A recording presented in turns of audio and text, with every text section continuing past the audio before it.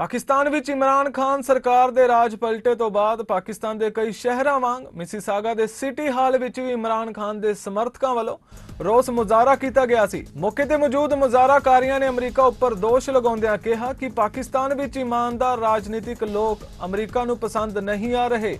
ਇਸੇ ਲਈ ਅਮਰੀਕਾ ਦੀ ਸਹਿ ਤੇ ਰਾਜ ਪਲਟਾ ਕਰਕੇ ਚੋਰ ਦੁਆਰਾ ਫਿਰ ਸੱਤਾ ਵਿੱਚ ਆ ਗਏ ਨੇ, ਜਿਨ੍ਹਾਂ ਨੂੰ ਪਾਕਿਸਤਾਨ ਦੇ ਲੋਕ ਮੂੰਹ ਨਹੀਂ ਲਗਾਉਂਦੇ ਇਸ ਮੌਕੇ ਪਾਕਿਸਤਾਨੀ ਕਮਿਊਨਿਟੀ ਦੇ ਮੈਂਬਰਾਂ ਨੇ ਪਾਕਿਸਤਾਨ 'ਚ ਸਮੇਂ ਤੋਂ ਪਹਿਲਾਂ ਚੋਣਾਂ ਕਰਵਾਉਣ ਅਤੇ ਓਵਰਸੀਜ਼ ਪਾਕਿਸਤਾਨੀਆਂ ਨੂੰ ਵੋਟ ਦਾ ਹੱਕ ਦੇਣ ਦੀ ਮੰਗ ਕੀਤੀ ਹੈ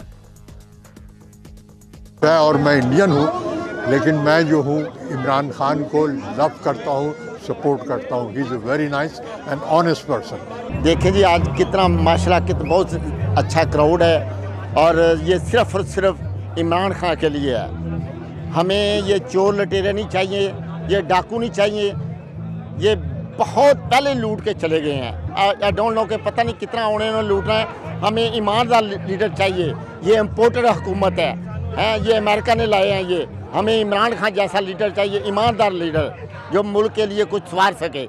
यहाँ पर आज हम इमरान खान के लिए इकट्ठे हुए हैं। अपने पाकिस्तान के लिए इकट्ठे हुए हैं। अपने आवाम के लिए इकट्ठे हुए हैं। अपने आने वाले मुस्तकबिल के लिए इकट्ठे हुए हैं। और अपने ओवरसीज़ पाकिस्तानियों के लिए इकट्ठे हुए हैं। पूरी दुनिया में हमारी पहचान इमरान खान की वजह से है। उन्होंने दुनिया में हमारी पहचान बनाई, जिसकी वजह से पाकिस्तानियों को इज़्ज़त मिली, ओवरसीज़ पाकिस्तानियों को इज़्ज़त मिली और दुनिया के सामने उन्होंने आँखों में आँखें डालकर इस बात का बावर कराया कि हमारे नबी पाक सल्लल्लाहु अलैहि वसल्लम की शान में अगर गुस्ताखी होती है तो हमारे दिल को तकलीफ़ होती है।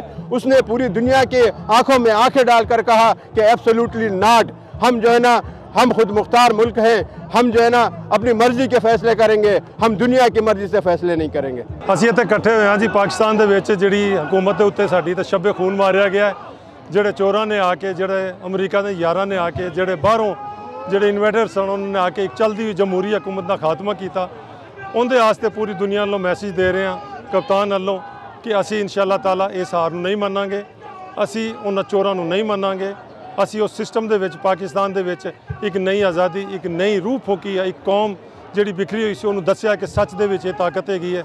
ਤੇ ਅੱਜ ਸੱਚ ਦੇ ਨਾਲ ਇਮਰਾਨ ਖਾਨ ਖੜਾ ਹੈ। ਉਹਦੇ ਸਾਰੇ ਦੋਸਤਾਂ ਦਾ, ਸਾਰੇ ਲੋਕਾਂ ਦਾ ਇੱਥੇ ਤੁਸੀਂ ਜਜ਼ਬਾ ਦੇਖ ਲਿਆ ਹੈਗਾ ਹੈ ਕਿ ਉਹ ਜਿਹੜੇ ਕਹਿੰਦੇ ਸੀ ਕੱਲ ਤੱਕ ਕਿ ਉਹਦੇ ਨਾਲ ਕੋਈ ਨਹੀਂ ਹੈਗਾ, ਅੱਜ ਪੂਰੀ ਦੁਨੀਆ ਉਹਦੇ ਨਾਲ ਹੈਗੀ ਹੈ। ਅੱਜ ਅਸੀਂ ਪਾਕਿਸਤਾਨ ਦੇ ਨਾਲ, ਅੱਜ ਪਾਕਿਸਤਾਨ ਦੇ ਸੱਚ ਦੇ ਨਾਲ ਆ ਪਾਕਿਸਤਾਨ ਦੇ ਆਵਾਮ ਦੇ ਨਾਲ ਆ ਅਸੀਂ ਆਪਣੇ ਕਪਤਾਨ ਦੇ ਨਾਲ ਹੈਗੇ ਆ ਤੇ ਇਨਸ਼ਾਅੱਲਾ ਤਾਲਾ ਮਰਤੇ ਦਮ ਤੱਕ ਉਹਦੇ ਨਾਲ